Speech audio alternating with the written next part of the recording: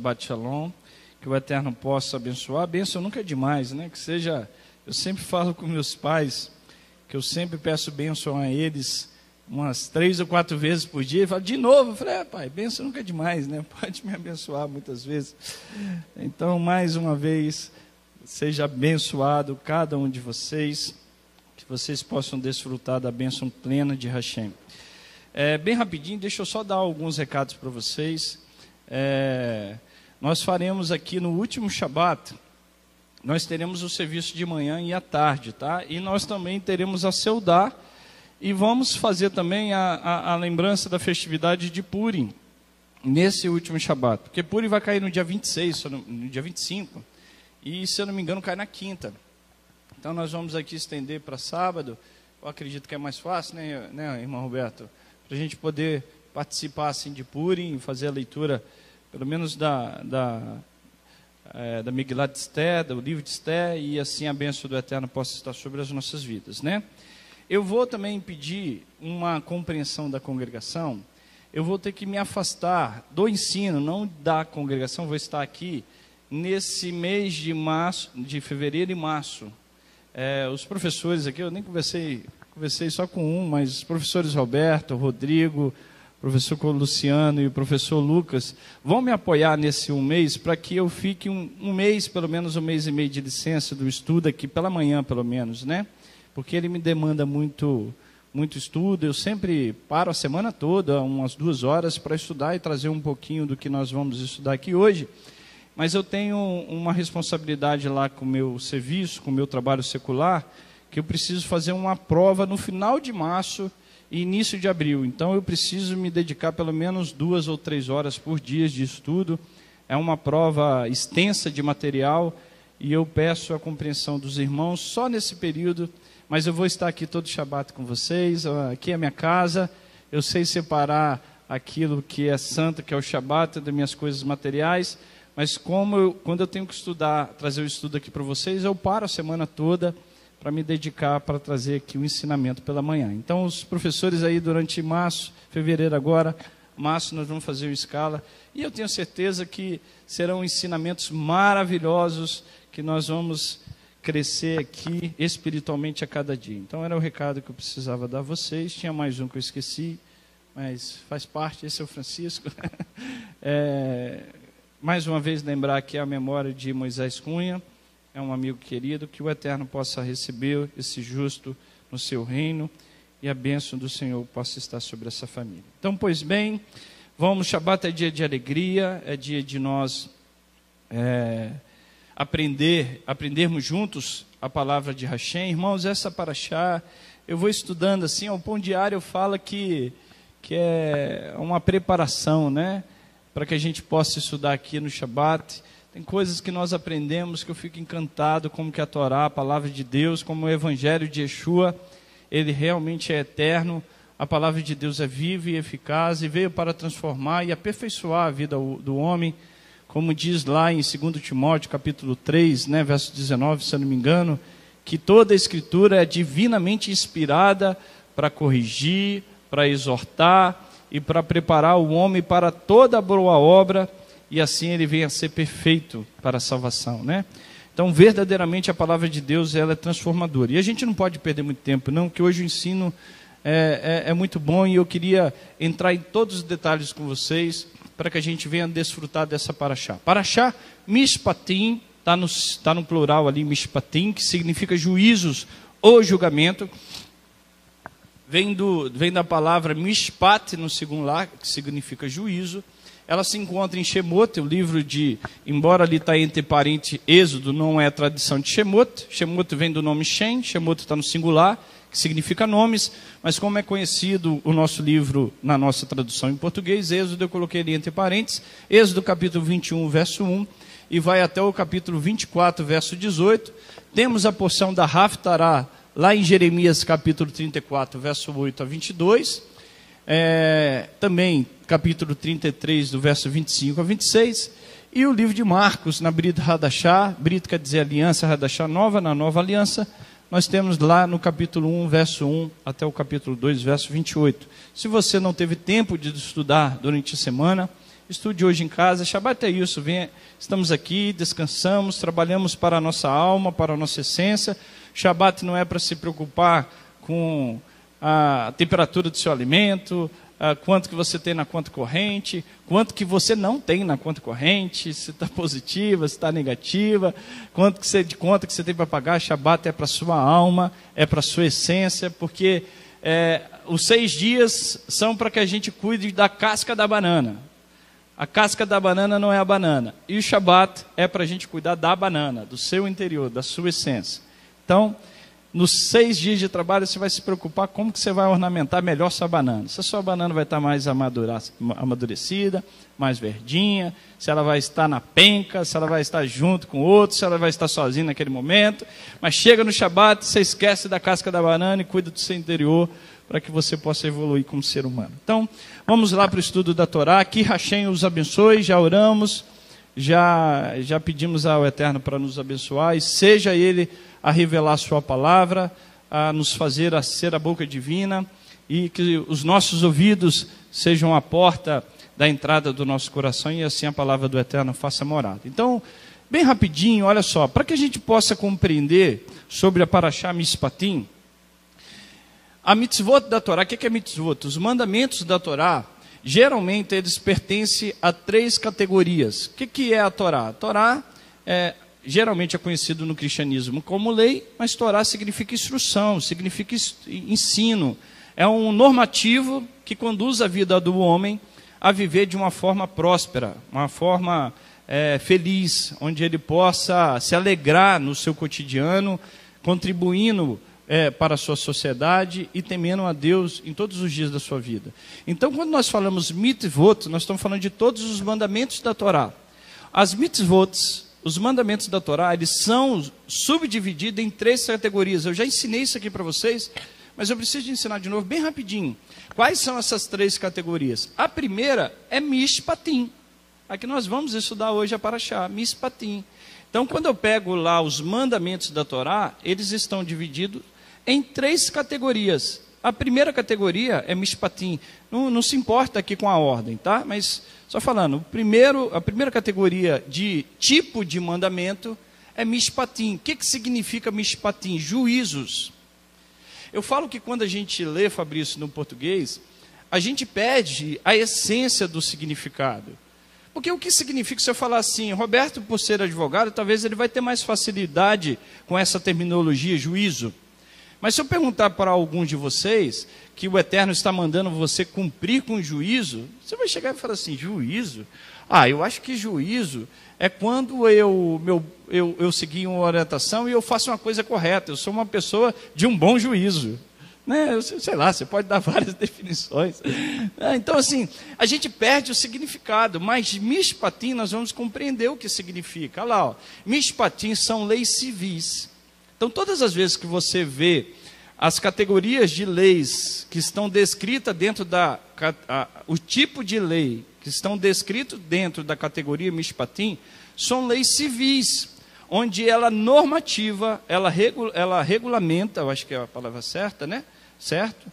Ela regulamenta a forma de vida do ser humano, a conduta do seu ser humano para com o seu semelhante e, por consequência, para a sua sociedade. Então, ó, Leis civis, mishpatim, são leis divinas que promulgam a segurança e sobrevivência da sociedade humana.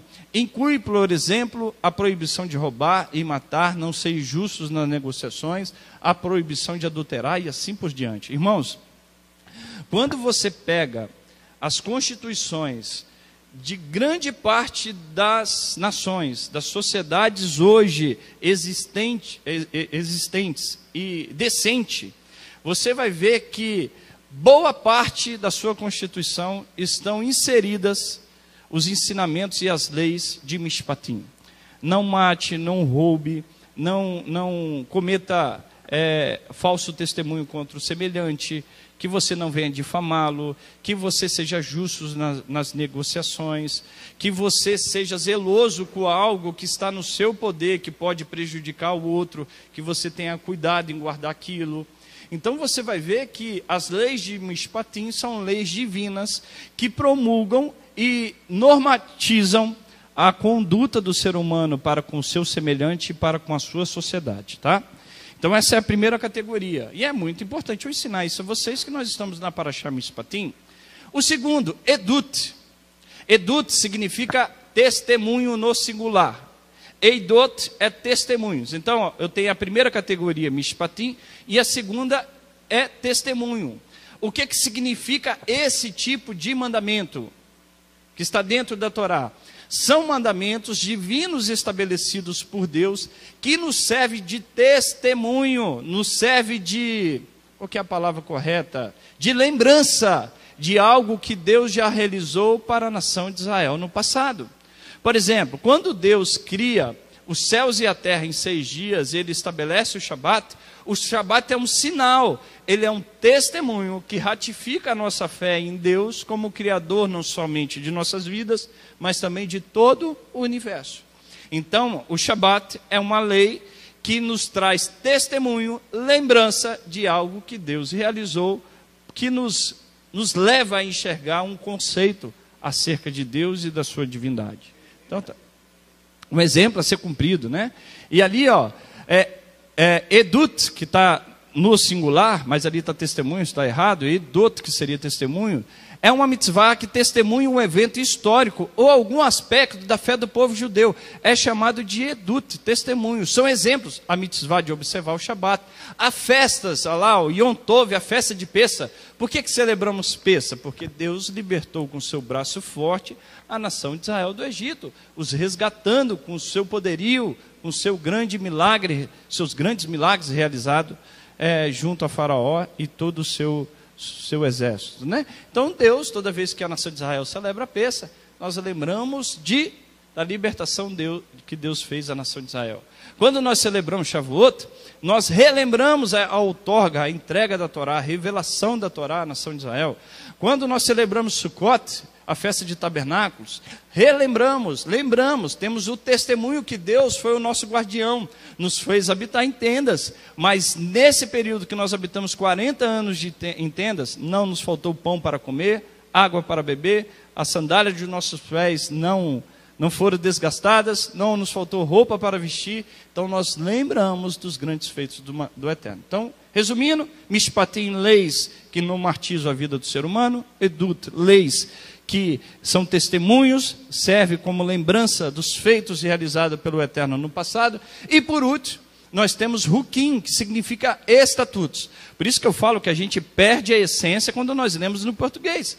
Porque quando você lá, vê lá na Torá dizendo que vocês guardem as minhas leis, os meus, os meus juízos, os meus estatutos, eu vou olhar minhas leis, os meus juízos, os meus estatutos, como tudo um caminhão, um caminhão de japonês. É a mesma coisa. Não, mas no. Ah, desculpa. Volta, Flavinha. Na cabe... De japonês, não, de chinês, então. Acho que. Tá Flavinha falou, meu amor, cuidado com esses, com esses comparativos. Mas é a forma de dizer, né?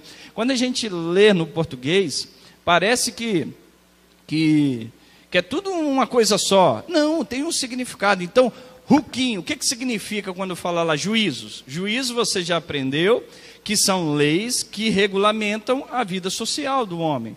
E quando fala estatutos, está falando desse tipo de mandamento que é Ruquim, que está dentro da Torá.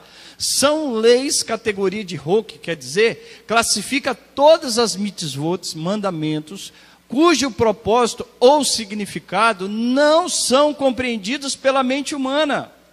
Não conseguimos captar o seu significado. Por exemplo, eu coloquei ali algumas, né, são as quatro principais. A lei do levirato, você sabe o que é a lei do levirato? É proibido, é, é, é, é permitido um, um, um irmão casar com a mulher de seu irmão? É permitido? Não é. Se ele estiver vivo, de maneira nenhuma. Se ele morrer com filho, de maneira nenhuma. Agora, se ele morrer sem filho, é permitido pela Torá para suscitar o nome do falecido, do irmão, é, para que continue perpetue seu nome, ele casar. E ele faz isso não é pelo desejo sexual, ele faz isso pelo cumprimento de um mandamento para dar continuidade a, a, a, o nome do seu irmão. Então, essa lei do levirato, nós, não é compreensível a racionalidade humana, porque Deus estabeleceu, mas assim Deus colocou na sua Torá. Outra, a proibição da Torá de vestir-se roupas que contenham mistura de lã e ninho. É proibido pela Torá. Trocar é, é, ter misturado a vestimenta, uma calça de ninho, uma camisa de lã.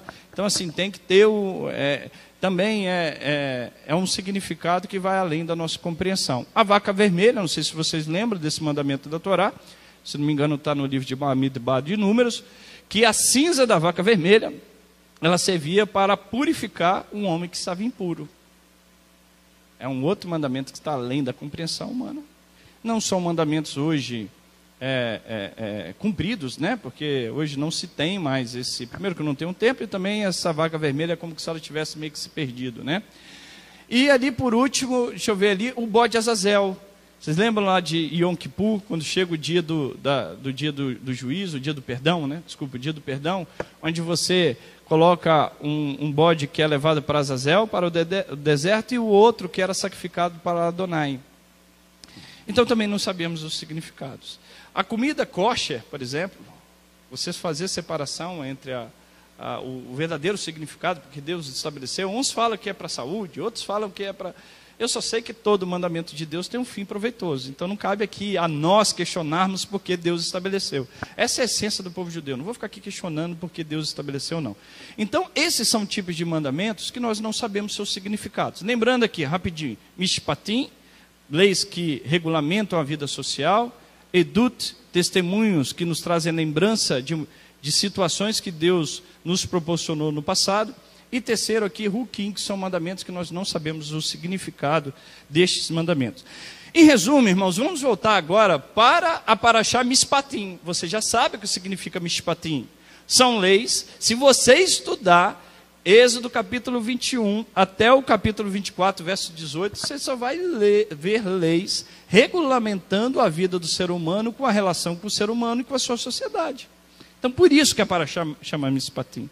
Precisava dar esse, essa introdução para vocês. Quero falar aqui de algumas leis que nós encontramos dentro da nossa paraxá, que para que você perceba a magnitude e a importância dessa paraxá, como que ela regulamenta, embora a essência de onde foi tirado esse contexto, a nossa Constituição do Brasil, por exemplo, eu acho que não tinha referência da Torá, né? Vieram de outras nações, mas no passado foi a Torá que veio é, inaugurando essa, essa norma, dando essa moralidade. Você vai encontrar as outras nações que para você sacrificar um Deus, você tinha que matar um ser humano.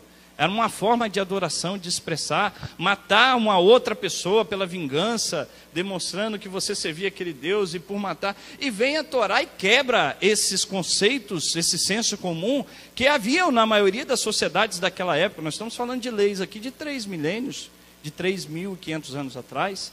Então a Torá ela veio aqui impactando a sociedade que percebeu através do testemunho da nação de Israel que a nação de Israel é, era uma referência de, de civilização, de ordenamento, de ordem social, e elas começaram a adaptar isso. Você lembra quando Deus fala lá para Abraão: sai da sua terra e para a tua parentela, que eu te abençoarei, e em ti serão benditas todas as famílias da terra? Essa é uma bênção que a nação de Israel levou. A bênção maior é Yeshua Hamashia, sim, mas essa é uma das bênçãos levada pelo povo judeu para a humanidade. Então, olha que interessante, tudo que nós estamos lendo aqui você encontra em nossa Constituição. Ó. A lei contra o homicídio está dentro dessa paraxá. Tudo eu peguei aqui dentro dessa paraxá, tá? E eu não, nem li toda ela quando eu estava fazendo, eu li toda a paraxá, mas quando eu estava escrevendo esse resuminho aqui, eu nem terminei tudo, mas só fiz aqui alguns tópicos importantes. Ó.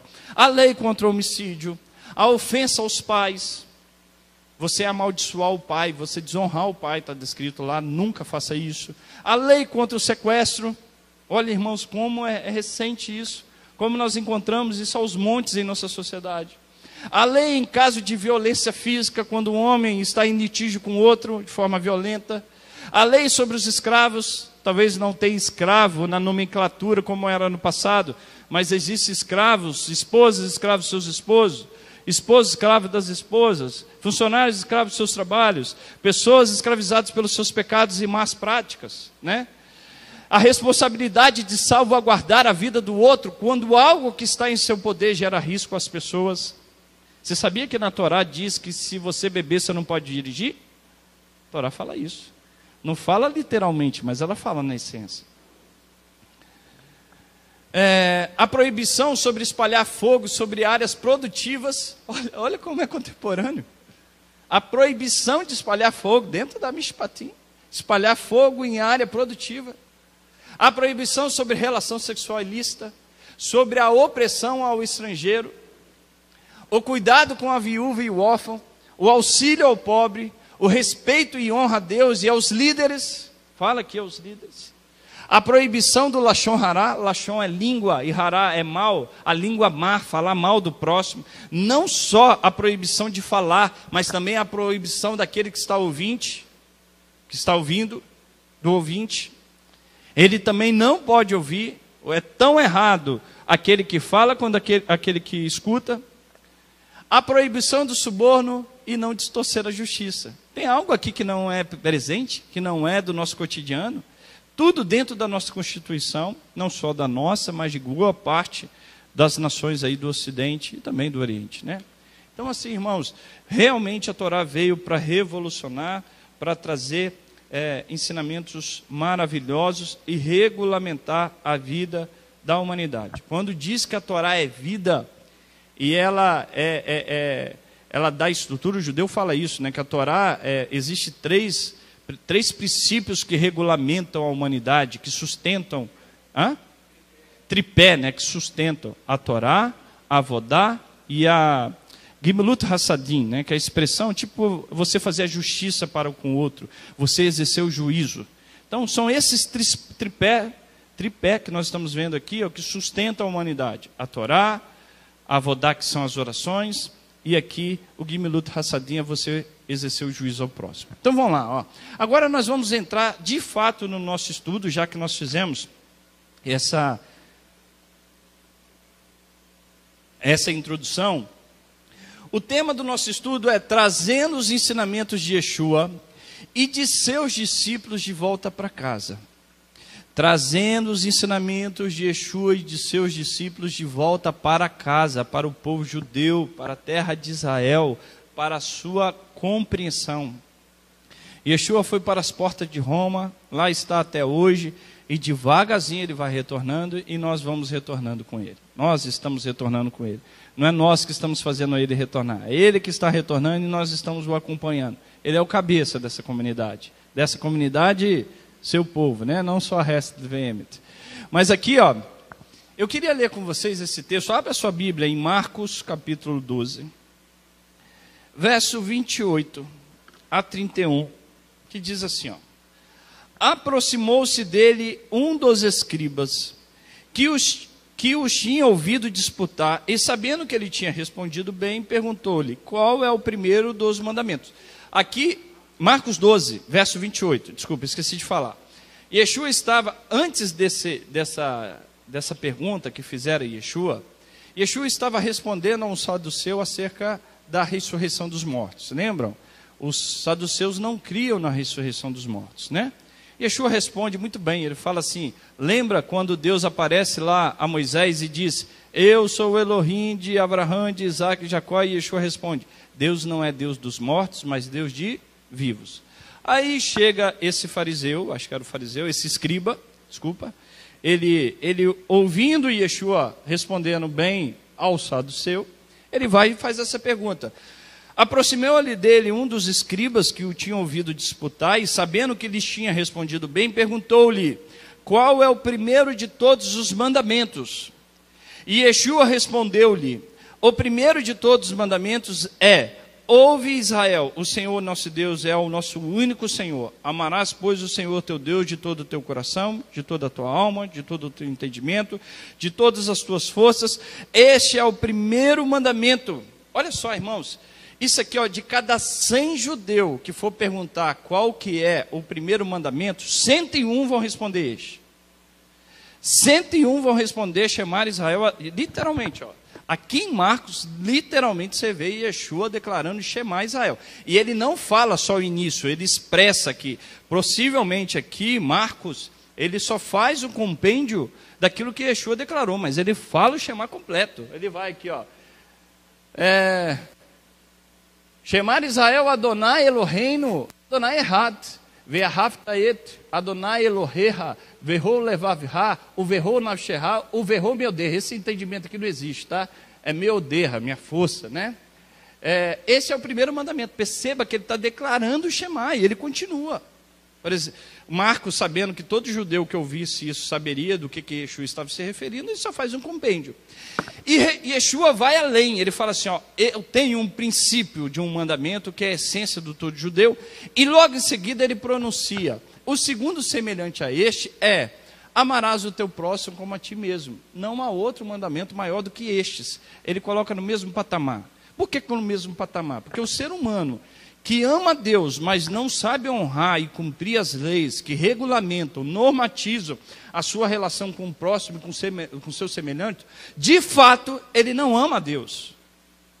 É uma condicional. Você só pode amar a Deus se de fato você reconhece a criação dele e a salvaguarda, e você cuida dela, você zela por ela. Então ele fala assim: ó, eu não posso declarar simplesmente chamar Israel, porque se você não observa o outro mandamento, de imediato você descumpre o primeiro. Então ele bota no mesmo patamar: chamar Israel Adonai Eloheno, Adonai errado. Aí ele fala: ame a teu próximo como a ti mesmo. Bota na mesma, mesma sintonia. Irmãos, o que, que está acontecendo? Quando a gente pega o cristianismo, entende que essa resposta de Yeshua é uma das respostas que ratifica a abolição de Yeshua acerca da Torá. Quantas vezes já ouvimos isso, né, Zé? Ah, Yeshua aboliu todos os mandamentos. O único mandamento que existe é ame a Deus e ame a teu próximo. Você já ouviu isso? Essa é uma compreensão teológica do cristianismo. Irmãos, eu falo que o mais importante do que você é, é, ler um texto é você compreender o texto e compreender tudo aquilo que está em seu entorno. Que está em seu entorno. Nós precisamos observar essa forma judaica de você fazer um compêndio, de você fazer um resumo de uma essência, ela sempre esteve presente. Você quer ver como isso é muito compreensível quando a gente faz uma analogia com outro tópico? Por exemplo, quando você vai ler um resumo de um livro, o que, que o resumo do livro procura trazer? O, o resumo do livro procura trazer os pontos importantes que ao você ler este resumo, vai ratificar em sua memória aquilo que o autor do livro quis transmitir. Mas só de você ler o resumo não faz você captar todos os ensinamentos maravilhosos que o, o, o, o livro quer te trazer ele só vai te fazer captar o que? A essência. Nunca quando você estuda, você já, você, eu acho que todos aqui já, já fizeram isso, né? Ah, ó, chega a professora de literatura, fala, vocês vão ter uma prova do, no, daqui um mês do livro tal, tal. Aí passa a primeira semana, nada de ler o livro. Passa a segunda, nada de ler. Passa a terceira, nada de ler. Passa a quarta, quando está faltando um dia da prova, vai lá no resumo, tchuf! Hoje eu acho que deve ter o Google lá que a galera joga. Mas lê. Chega lá de 10 questões, você responde quanto? Quatro, meu amigo. Chegou na sua prova, em vez de você tirar 10, você tirou o quê? Quatro. Você só captou o quê? A essência, o mais importante do livro. Mas a, a, a, o livro tem pontos importantes para te ensinar que te fez você perder seis pontos. Quando Yeshua está dizendo aqui que é, você deve amar a Deus sobre todas as coisas, Ele está te indicando e levando a você a enxergar outras coisas que são importantes. Ele está te indicando, ele está falando assim, ó, é como se ele estivesse aqui falando do objetivo, não do meio como você faz para alcançar o objetivo. Não sei se eu estou sendo claro. Quando Yeshua diz que nós devemos amar a Deus sobre todas as coisas e o teu próximo como a ti mesmo, ele está falando do objetivo, da finalidade, mas não quais são os meios que você precisa observar para alcançar esse objetivo. É isso que ele está falando. O objetivo é importante, é fundamental, é a essência, é a finalidade. Só que os meios para você alcançar essa finalidade são tão importantes quanto, porque senão você não alcança. Então, essa é uma forma judaica de ensinar. Você vai ver isso sempre presente no judaísmo. Eu posso te provar isso. Onde você faz um compêndio da essência daquilo que é, é a essência do ser humano, vamos dizer assim. Quando nós estamos estudando toda quarta-feira a, a, a, o Piquet Avot, você vai ver que todas as horas nós entramos em Mishnayot, em, em, em ensinamentos, que nos ensinam pontos importantes. Eu falo aqui, eu, eu gostaria de deixar um legado para essa comunidade. Qual o legado que eu gostaria de levar? Que você ame a Deus acima de tudo, que você trabalhe pela sua comunidade, eu estou falando dessa comunidade. Porque essa comunidade é super importante para que você conduza e alcance os objetivos que são mais importantes.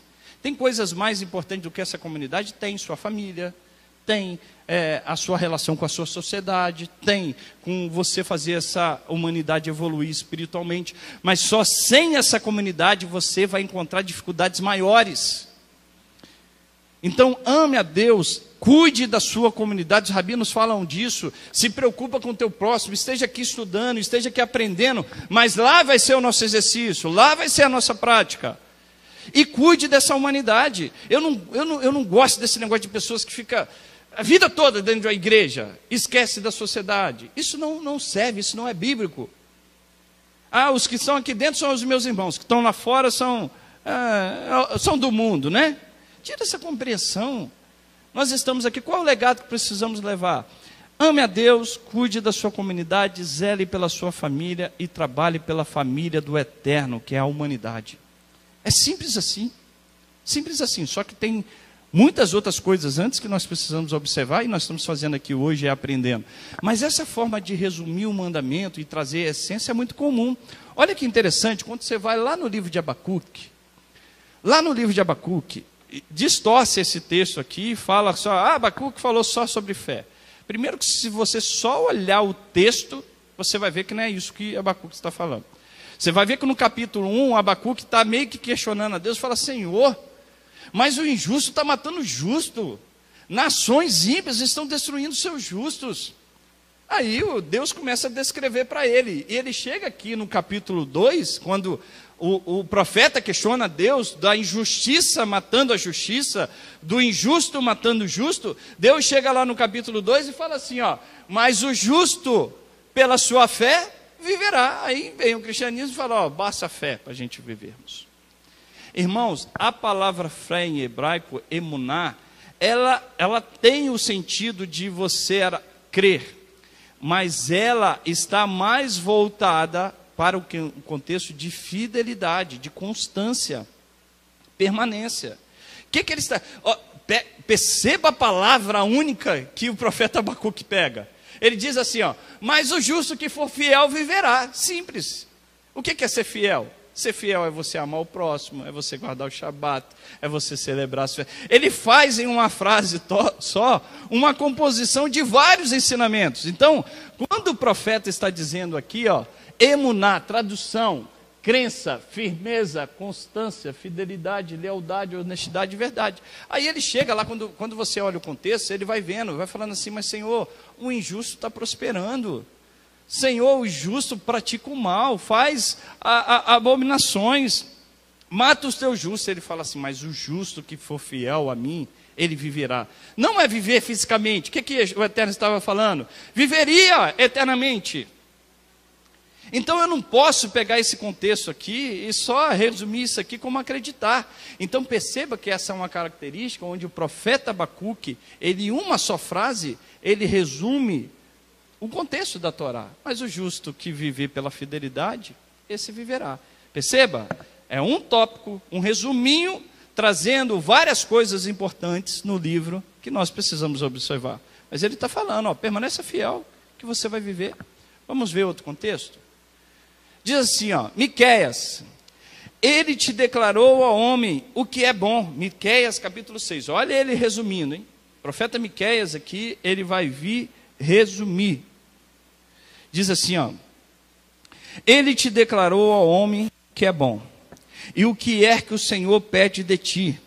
Senão que pratiques ju o juízo. Aqui, irmãos, as pessoas praticam o juízo. Beleza. O profeta está falando algo que é fundamental na minha e na sua vida. Ele fala: Ele te declarou o que é bom. O que é que o Senhor pede de ti? Olha só, eu vou resumir o que, que Deus está pedindo a ti: que pratiques o juízo, Ames a benignidade, aqui você poderia traduzir melhor como graça, ame a graça, e andes humildemente com teu Deus. Vamos ler isso aqui em hebraico, porque a gente olhando isso aqui no português, você vai perder a essência dessa paraxá que nós estamos aprendendo. Diz assim, ó, olha aqui em hebraico, não sei se vocês vão conseguir acompanhar comigo, mas ali está assim, ó. Higit lehadam. É, é, é, é o sentido assim, ó. Ele, eu não sei se eu posso dizer, eu não sei se a palavra declarar o certo, mas ele estabeleceu, ele, ele te anunciou, ó homem, Adão, que literalmente é representando Adão, a humanidade, né? É, ele te declarou, ó homem, Matove, o que é bom. O Maradonai do, é, Doresh Minha. Aí aqui ele, ele escreve, é, essa palavra, o Madonai, ele, ele, essa palavra Doresh é, é tipo, é interpelar, questionar. Deus está inquirindo a você o que, que é bom, o que, que Ele quer de ti, é o que Ele está dizendo. Ó. O Mar Adonai do, é, Doresh Minha. O que, que Deus declara e inquire de você, está inquirindo de você, está exigindo de você. Aí ele continua. Que in asot mishpat. Essa palavra, ah, que você, aqui uma condicional, né? Que você asot, vem da palavra assor, que é fazer. Que você faça mishpat o que é mishpat? É um contexto só? Não, mishpat é um conjunto de leis que você precisa observar para cumprir o juízo. Por isso que eu falo que quando a gente lê isso aqui, ó, em português, a gente perde a essência, Chico. O que ele está falando? Observe as leis de Mishpatim. O que Deus está pedindo de você é o quê? Que em Asot Mishpat, Ve'ahavta, Ve'ahavta, você sabe o que, é, né? Ve'ahavta Hesed, Ve'ahavta é amar, amarás a graça, Hesed, Hesed não é só a nossa congregação que você tem que amar, não. Amar a graça, não é minha sogra também não, nem minha mãe. Amar a graça é você exercer misericórdia sobre elas, sobre as pessoas. É você ser é, é, perdoador, você ser complacente. Complacente não sei se é a palavra. Você é o olhar com um olhar de misericórdia. Então, ame a graça, verhats, verhats, verhatsenia, é, eu acho que é isso, né? Verhatsenia lehet in Eloheha. E aqui, é, essa palavra é, que significa andar de forma humilde, simples. E aqui, ó, in lehet in Eloheha. E que você ande de forma humilde até o teu Deus, junto de. Essa palavra em aqui é junto, ao lado, com o teu Deus. Eloheha é o teu Deus. Então o profeta Miqueias, para fazer a mesma coisa que Yeshua está falando, está fazendo, é pegando a essência do mandamento e trazendo a luz e revelando para nós qual que é a essência. Só que ele não está falando dos pontos importantes que precisam ser observados para que você alcance, mas ele está excluindo de maneira nenhuma. Pelo contrário, ele está enfatizando esses pontos importantes que são necessários para que você cumpra o que? O mishpat, um juízo. Falei que a gente perde um pouco da essência. O que, que o profeta Miqueias está fazendo? A mesma coisa que Yeshua fez. Resumiu o, a essência da Torá, da palavra de Deus. Vamos para outro contexto, você vê que é muito parecido. A lógica, perceba que Yeshua está dizendo a mesma lógica de Miqueias. O que, que Miqueias está falando? Faça bem ao teu próximo como a ti mesmo cumpre as leis de Mishpatim e ande humildemente com seu Deus. Não é a mesma essência de Yeshua? Yeshua não disse ame a teu Deus e o teu próximo? Ele é a mesma coisa. Ande humildemente com teu Deus e cumpra as leis de Mishpatim. As leis sociais que fazem bem a você e ao teu semelhante. Se a gente for para Jeremias, a mesma coisa, mas o que o Senhor, mas o que se gloriar, glorie-se nisto, em me conhecer e saber que eu sou o Senhor, que faço beneficência. Olha aqui de novo, para tirar o conceito de graça no, no Antigo Testamento, aqui é resta de novo. Juízo e justiça na terra, porque dessas coisas me agrada, olha aqui, ó. Kiim é, bezot ithalel. E aqui o contexto é, mas aquele ithalel é se gloriar. Mas aquele que se gloria, é, se, está se gloriando, é se vangloriar, é aquele orgulho, né? Aquele que está se sentindo orgulho, aí ele fala, ó, é, Habit Halel, Haskel, é, vai avot oti. Então, se glorie nisto. Se glorie nisso. Aí ele fala, que ani Adonai, porque eu sou Adonai. De novo, ó, a palavra assou aqui de novo, de fazer. É porque eu sou Adonai que faço reset, graça, mishpat, juízo, tzedaká, é, ut tzedaká, né, baaretz, e faço justiça na terra. Perceba de novo, mishpat, ele fala assim, ó, você quer se gloriar? Se glorie nisso, em me conhecer, porque eu faço. A palavra aqui, ó, que você está vendo aqui, ó, vai a é, vai a do, vai a doa, significa conhecer. Em conhecer que eu faço. Ah, lá ele usa reset, graça, mishpat, juízo e o é, justiça na terra. É, e nisso eu me agrado. Ele continua aqui, ó. E nisso eu me agrado. Então perceba, irmãos, quando Yeshua lá estava citando amarás como teu próximo a ti mesmo, ele se referia sobre a necessidade de conhecermos e vivenciarmos as leis de Mishpatim. Sem conhecê-las e observá-las, não é possível alcançar o amor verdadeiro ao seu próximo. Olha o trabalho bem feito de algo muito mal feito que foi feito por Roma. E Yeshua, ao invés de estar abolindo a Torá, ele está enfatizando a importância da Torá para que o homem consiga atingir o amor a Deus e o amor ao teu próximo. Essa era uma característica judaica de ensino. Então, quando ele fala assim, ó, beleza, amar a Deus como todas as coisas e o teu próximo a ti mesmo, ele está querendo enaltecer a importância da Torá para que você atinja essa essência. Irmãos, eu falo que tem alguns ensinamentos de Yeshua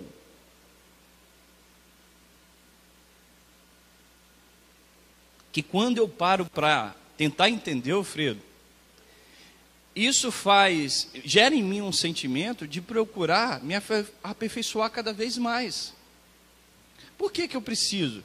Quando Yeshua chega que fala, vendo os fariseus, que ele diz assim, ó, perceba que os fariseus e os escribas estão sentados na cadeira de quem? de Moisés. E ele fala assim: ó, faça tudo aquele que eles vos disser, mas não proceda como eles procedem.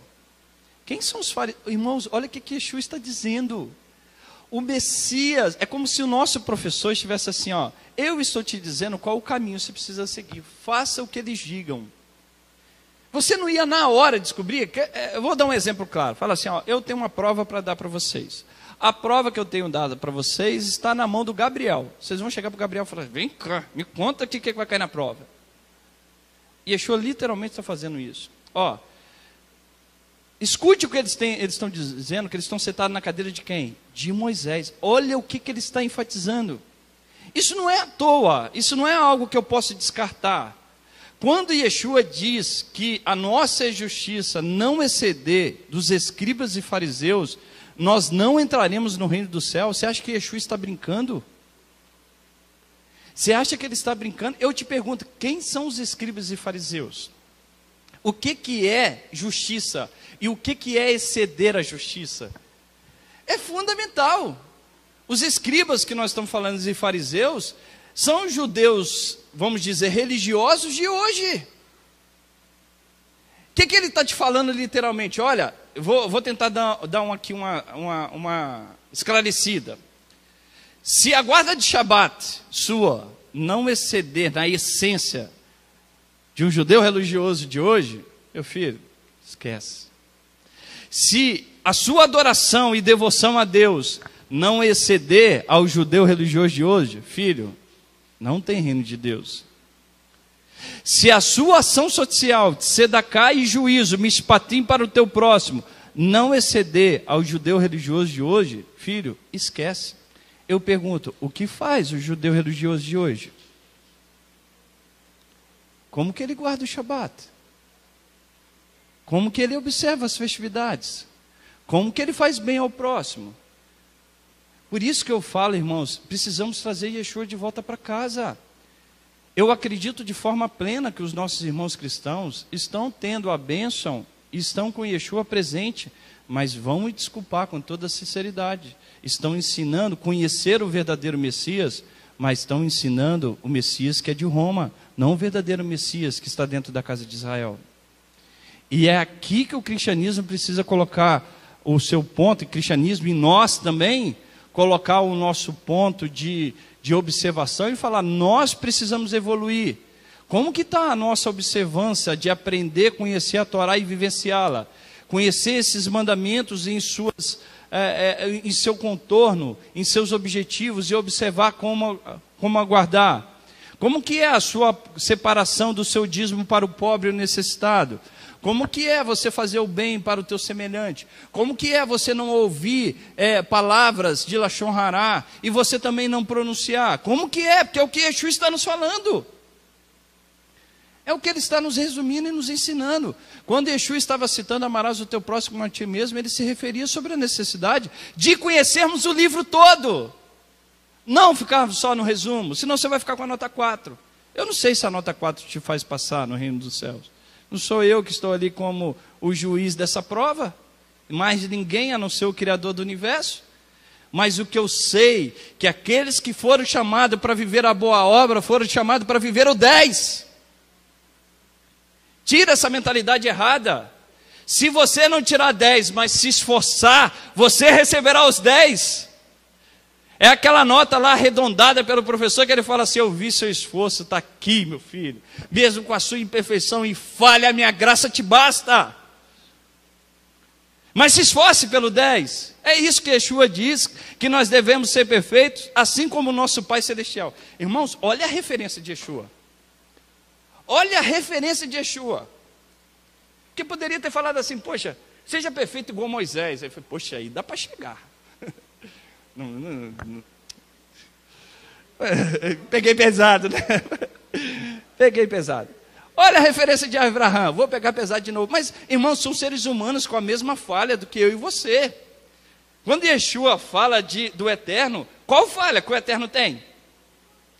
Qual falha que o Criador tem? Você sabe por que, que Yeshua diz isso? Porque ele diz que todo aquele que está em Cristo nenhuma condenação há para aqueles que estão em Yeshua Hamashia, porque quando Deus enxerga você, Ele não enxerga a sua falha, mas Ele enxerga a perfeição do Mashiach em ti, e você é semelhante a Ele, perfeito como Ele é, mas para aqueles que se esforçam, que se esforçam, desculpa, que se dedicam, que trabalham, que lutam, que labutam, não acredito, acabou.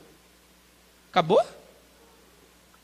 Eu acho que eu pulei alguns slides aí, mas tudo bem, não acabou isso tudo não, tá? É, não fiquem felizes não, tem mais um tempinho aqui.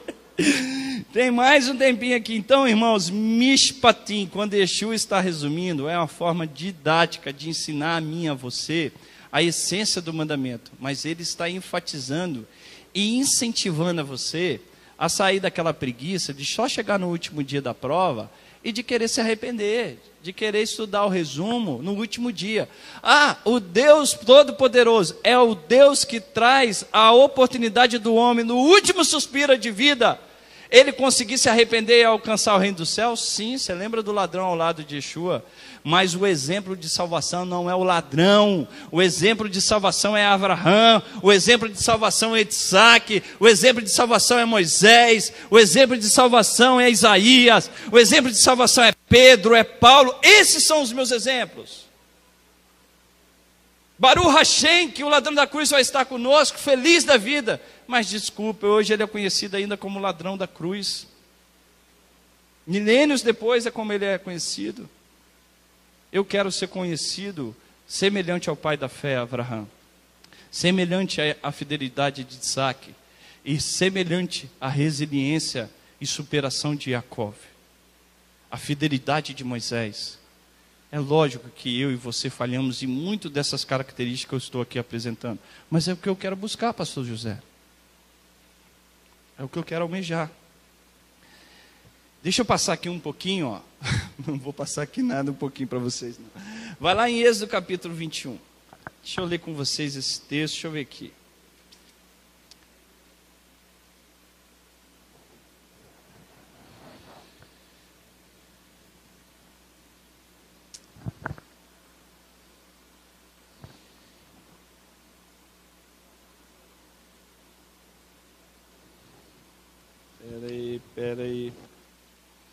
Irmãos, eu vou ver que eu coloquei o verso errado aqui, ó. Mas vamos lá, deixa eu ver se eu acho aqui o texto.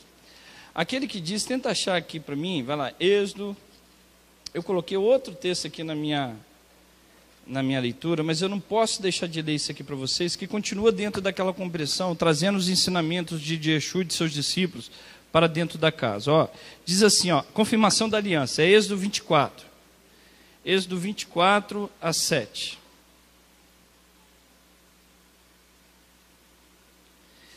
É aqui que fala na Sevenishma? Isso, isso mesmo. Ó. Olha aqui, ó. Depois disse Moisés: Subi ao Senhor, tu, Arão, Nadab e Abiú e setenta dos anciões de Israel, adorai de longe. E só Moisés se chegará ao Senhor, os outros não se chegarão, e o povo não subirá com ele. Veio, pois, Moisés e relatou ao povo todas as palavras do Senhor e todos os estatutos. Lembra aqui, Ruquim? É, o contexto é esse, ó.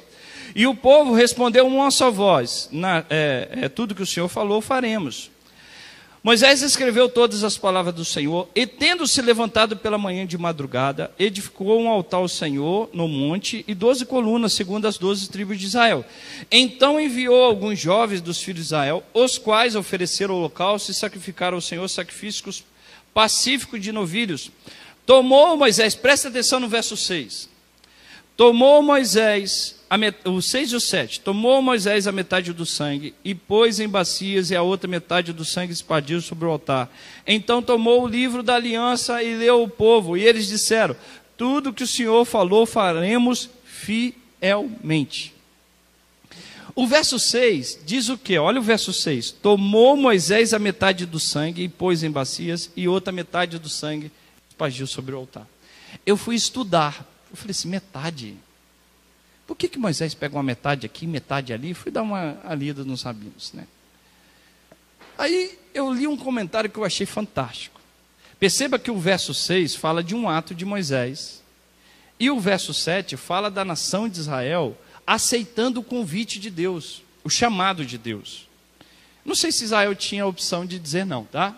Mas aqui, Deus propôs para Israel a Torá. Israel fala, nascer verismar, tudo que o Senhor falou faremos fielmente. Fielmente. Então Deus propôs a eles e eles aceitaram. Então perceba que aqui é uma aliança o quê? Bilateral. Nessa, no versículo 6 e 7, existe as duas alianças na qual nós fomos inseridos.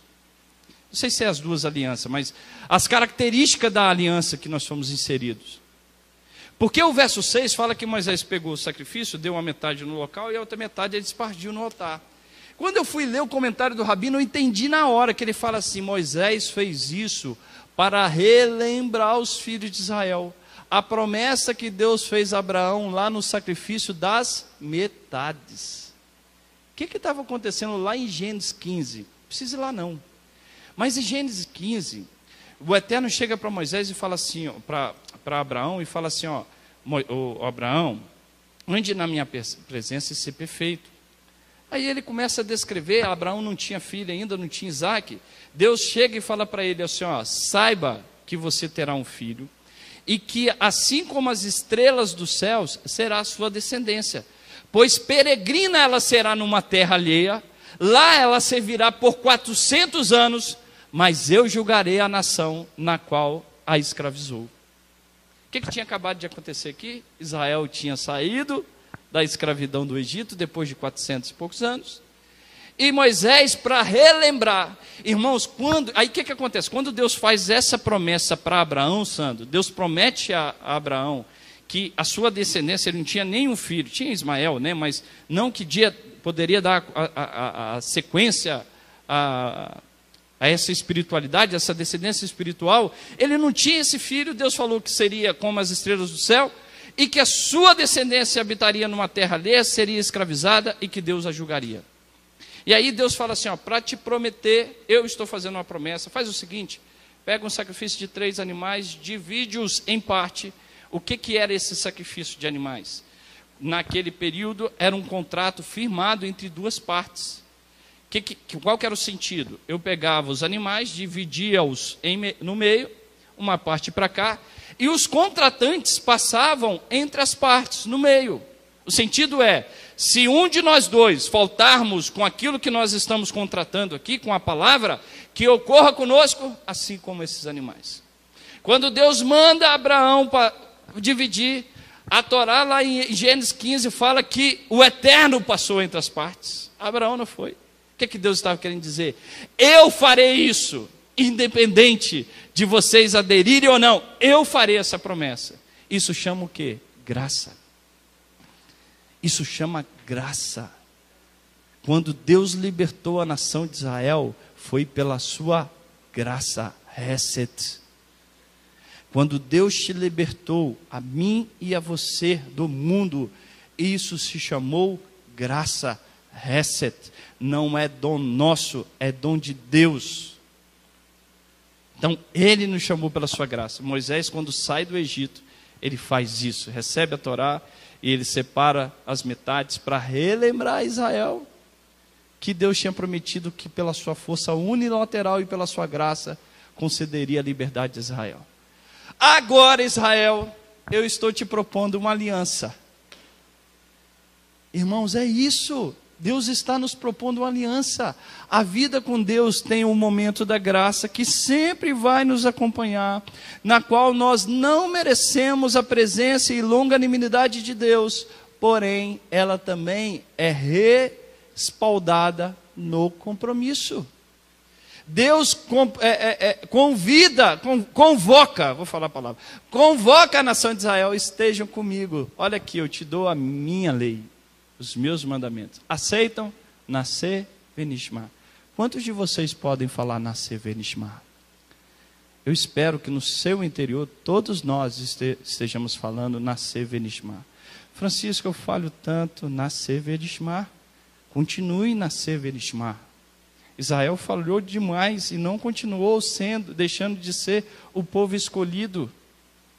Não deixou você, não deixará de ser se você continuar firme lutando contra as suas fraquezas e os meus e os seus pecados. Se nós formos firmes, persistente, o Eterno há de nos abençoar. Eu creio nisso. Então, a vida com Deus fala da graça, mas essa graça não quer dizer que eu estou desprovido de compromisso e de seguir um normativo dos céus divino.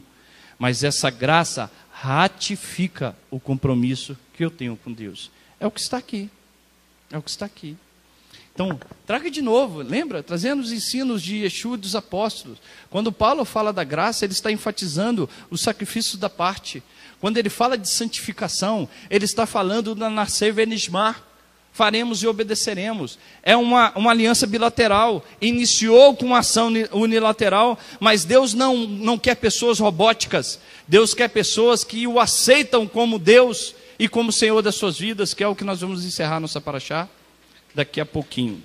E agora, irmãos, por isso que Pedro, aqui, ó, eu coloquei lá que Pedro, no capítulo 2, verso 9, 1 Pedro, capítulo 2, verso 9, diz assim, ó, mas vós sois a geração eleita, o sacerdócio real, a nação santa, o povo adquirido, para que anuncieis a virtude daqueles que vos chamou das trevas para a sua maravilhosa luz. Você sabe que, para quem que Pedro estava falando isso? Olha, ele chama aqui geração eleita. Sacerdócio real. Quem é a nação eleita? Israel. Quem é o sacerdócio real? Israel. Quem é a nação santa? Israel. Quem é o povo adquirido? Israel. Para que anuncieis as suas virtudes. Então, se tudo que Pedro estava falando aqui era para Israel, para quem que Pedro estava escrevendo essa carta? Para os gentios. Para os gentios. Perceba o que ele fala. Para os gentios. Está no versículo 10, está falando para os gentios. Vocês são, ele não está excluindo a nação, ele está inserindo os gentios dentro desse pacto, dentro dessa aliança, dentro desse chamado irrevogável. Una, está unindo, ele está chamando os gentios. Eu sempre digo isso, os professores da casa aqui sempre também repetem isso. No, a história dos gentios crente em Yeshua é a mesma história de Israel, ao contrário, né? A história de Israel é a história dos gentios crente em Yeshua. Quando Israel saiu do Egito, você saiu junto. Quando Israel recebeu a revelação da Torá, você recebeu junto. Quando Israel estava sendo sustentado pelo maná, você estava sendo sustentado junto. Quando a água da rocha que brota, brotava, você estava sendo é, é, é, saciado pela sede ali e recebendo aquela água viva junto. Peça é a sua história, Shavuot é a tua história, Sukkot é a sua história. Por isso que ele fala: vós sois a nação certa, a nação santa.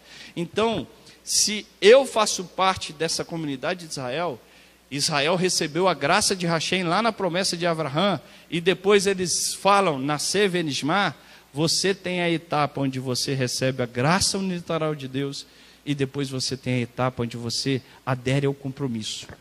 Esse aderir ao compromisso está descrito lá em Hebreus, capítulo 12, verso 14, se eu não me engano, seguir a santificação, sem a qual ninguém verá o Senhor. Ninguém tragam os ensinos de Yeshua e de seus discípulos de volta para casa. Tiram-os tira da porta de Roma. O tempo é esse, restauração precisa ser vivenciada muito rápido, né? E aqui, irmãos, olha só. Está cansativo? Está dando para a gente aprender? Me dê mais dez minutinhos, que eu não posso deixar de compartilhar aqui com vocês, não. Sério mesmo, desculpa pelo meu. Eu não tenho poder de síntese. Mas eu não vou desistir de tentar melhorar nesse ponto, não, tá? Mas me dê dez minutinhos hoje para a gente. Eu não queria deixar aqui de sa sair sem falar isso para vocês hoje. Irmãos, eu estava estudando a Torá no pão diário, aí eu fui ler. Eu, eu, eu não estou descrevendo para vocês aqui uma revelação, não. Eu aprendi lendo, os rabinos comentaram. Sobre essa questão do boi raivoso. Eu quero compartilhar com vocês. E tentem prestar atenção. Porque aqui tem uma metáfora para as nossas vidas que a gente precisa observar que é uma essência que, que estabelece o nosso limite da relação com Deus e uma vida de santidade e uma vida de pecado. Diz assim o texto, ó, Êxodo 21. Você está com o microfone aí, Roberto? Leia para mim, por gentileza. Êxodo 21. Você vai ler do verso. É só 28 e 29, tá bom?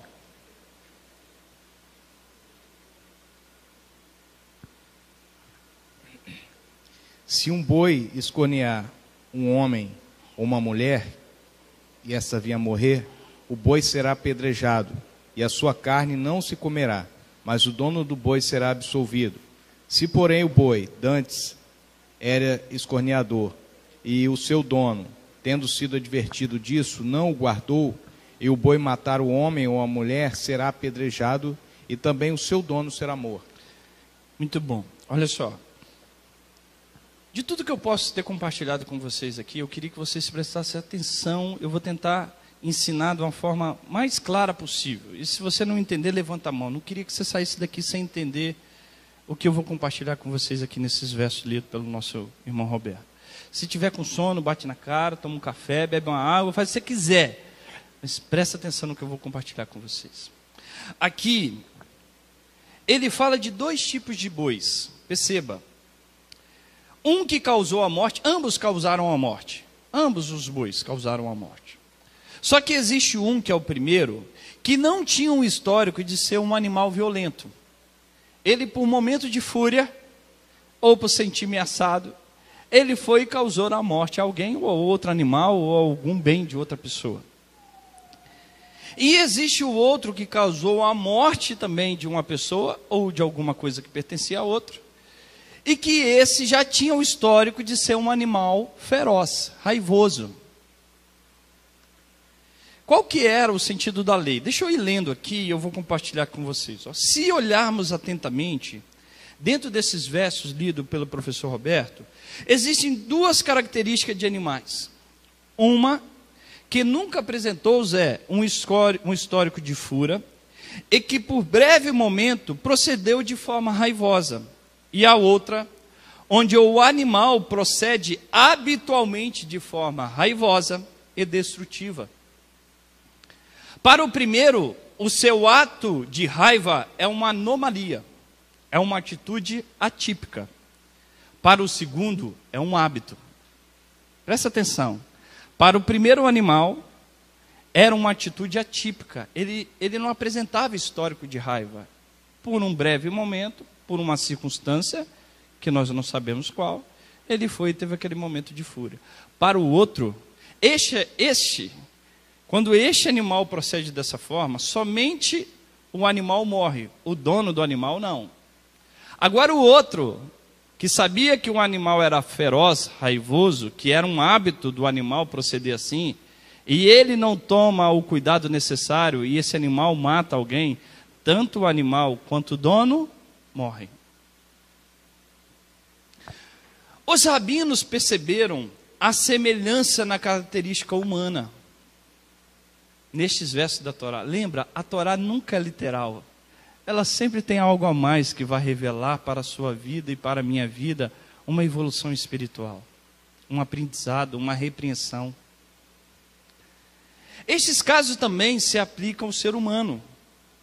Existem certos tipos de pessoas onde a sua atitude incorreta e pecaminosa, presta atenção, a sua atitude incorreta e pecaminosa é algo atípico, anormal, uma anomalia. Ele não tem o hábito de proceder daquela forma raivosa, daquela forma grosseira de falar, daquela forma é, truculenta de xingar, daquela forma é, incorreta sexualmente, de falar mal do próximo. Ele não faz isso habitualmente. Por um momento de descuido, ele cometeu essa falha e esse erro.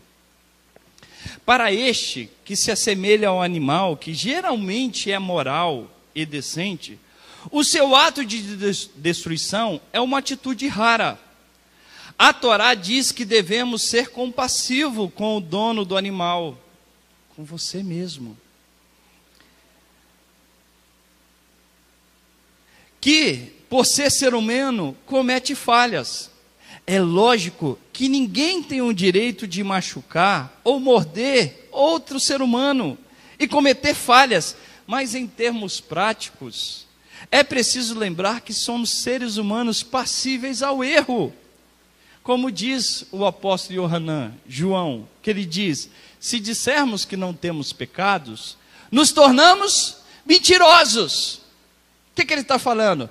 Este onde ele comete uma falha de uma forma anormal, não é atípica, este aí, a Torá é complacente com o dono, com você. Agora vamos continuar lendo. Ou seja, para essa pessoa, embora seja doloroso, mas não é o fim do mundo.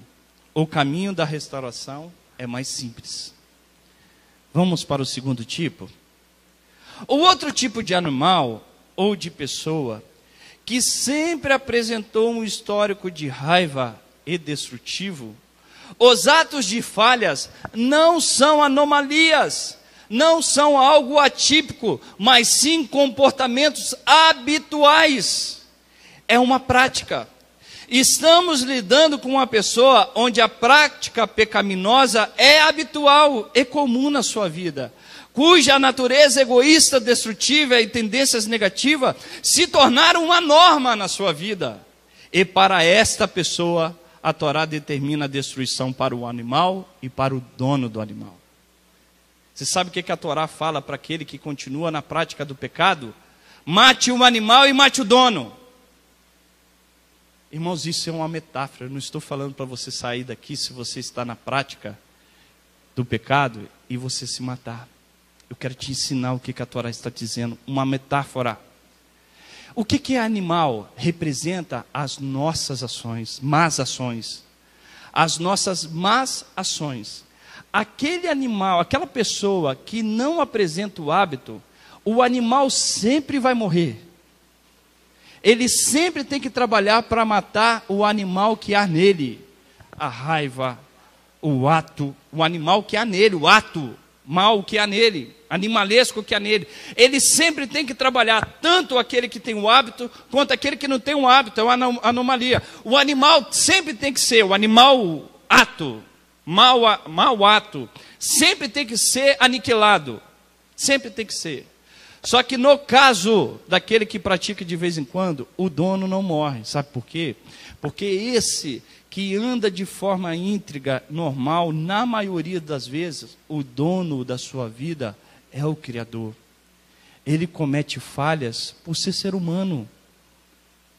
Mas o outro, além dele ter as características animalescas no hábito da sua vida, da sua, do seu comportamento, o dono precisa morrer. Não só os atos, mas o dono. Não é você morrer literalmente, mas você morrer espiritualmente para você mesmo, para que o dono do universo governe sobre você.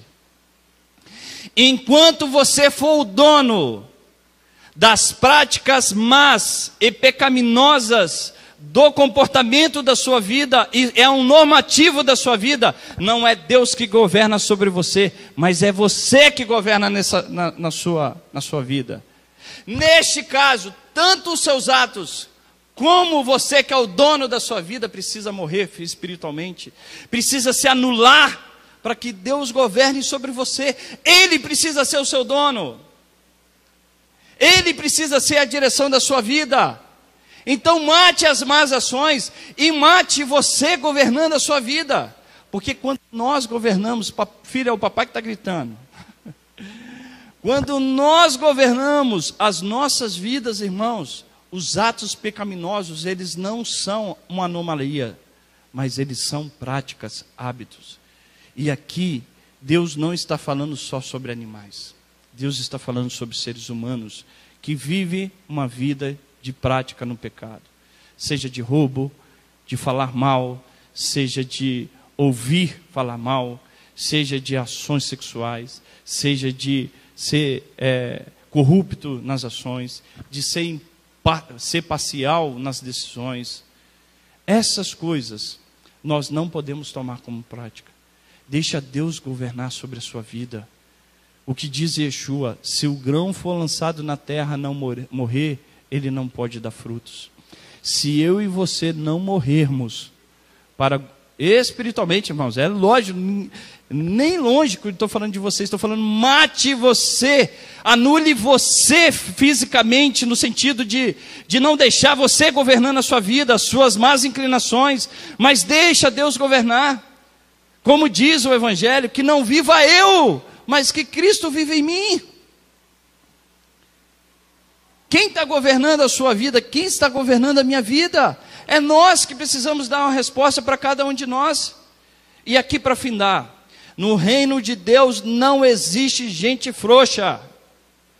Não existe pessoas que desistem, pessoas que abram mão de servir a Deus. Não há espaço de desistência. Por isso que eu falei aqui no início, Alfredo. Não sei se Israel tinha escolha de dizer não. Mas Deus os chamou. Deus fez, fez o convite do chamado. Mas eu quero finalizar com esse texto aqui de Êxodo 21. Leia para mim, Roberto. Êxodo 21, verso 1 a 6, que nós lemos aqui no, com a leitura de Denner. Deu para entender quando eu falei aqui do boi raivoso e do boi que tem a prática da raiva constantemente? Qualquer ato, irmãos, pare para analisar a minha e a sua vida olhe aquilo que é contrário aos princípios da palavra de Deus e que é uma prática na minha e da sua vida, e estipe isso da sua vida e deixe Deus governar.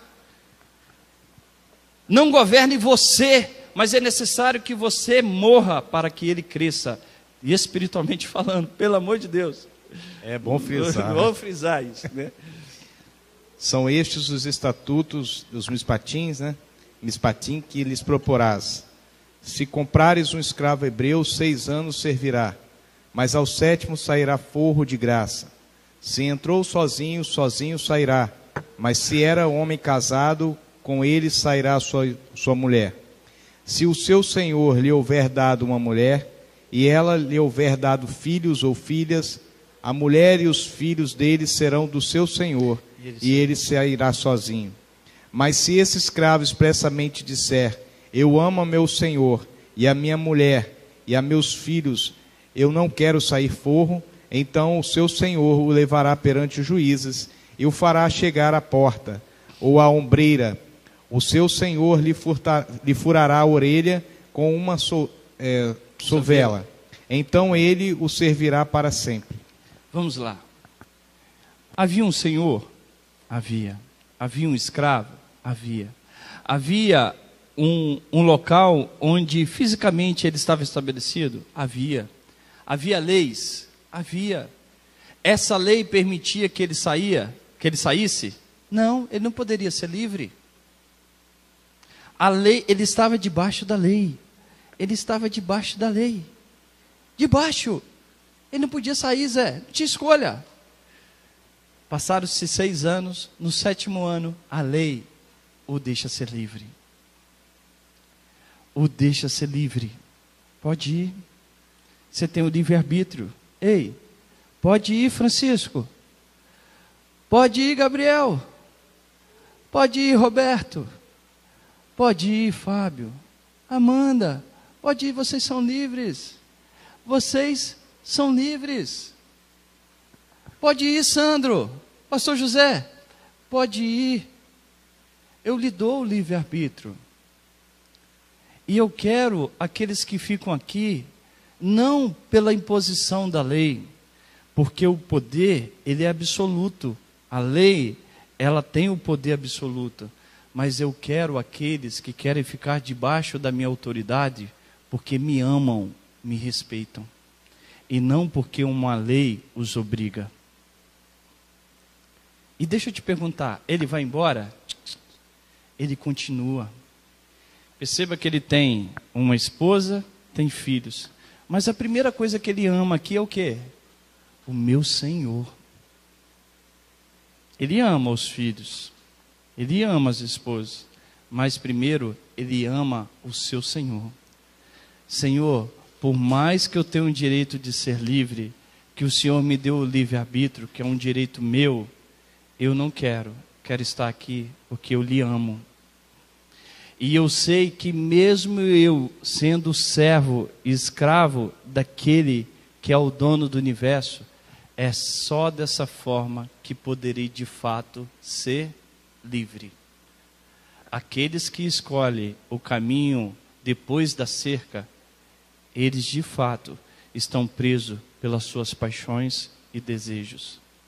Mas aqueles que estão dentro da casa de Adonai, e o tem como Senhor, esses de fato são escravos da justiça, mas são verdadeiramente livres. Que você escolhe amar o teu Deus, servir ao teu Deus, não pela imposição do poder da lei, mas sim pelo amor e respeito ao teu Criador. Quando você assim faz, Deus irá te honrar e você será livre de tudo aquilo que impede de ter um relacionamento genuíno por Ele. Que você fure a sua orelha e deixe a Torá, a palavra de Deus, entrar no seu ouvido e no teu coração. Que você abra a porta do teu coração para que Yeshua reine e que ele seja o Messias da minha e da sua vida. Shabbat Shalom para todos. Obrigado por estarmos aqui estudando Mishpatim que no ano que vem possamos estudar em Jerusalém e que a bênção do Eterno esteja sobre a vida de cada um de nós. Obrigado por me ouvir, desculpa pelos 20 minutos aí de atraso. Vamos ficar de pé. Fecha os teus olhos, curva a tua cabeça. Yevareha Adonai Veshmereha, Yeha Adonai Panaveleha Virunica, Issa Adonai Panaveleha Viasemeleha Shalom. Que o Eterno te abençoe e te guarde que o Eterno faça resplandecer o seu rosto sobre ti e tenha misericórdia de ti. Que o Eterno sobre ti levante o teu rosto e lhe dê a paz. Um bom Shabat repleto de paz, de alegria e desfrute da bênção que Deus te deu, que é a tua família. Shabbat Shalom para todos.